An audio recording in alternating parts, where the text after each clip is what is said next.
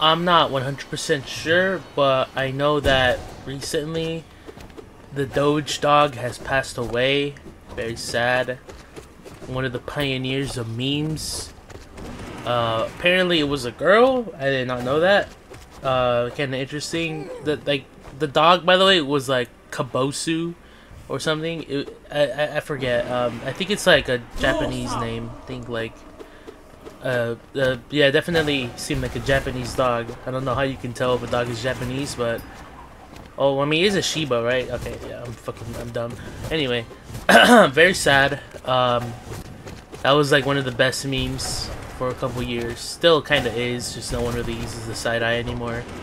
But um, it's crazy how memes have evolved from basic PNGs with text to using it in culture, right?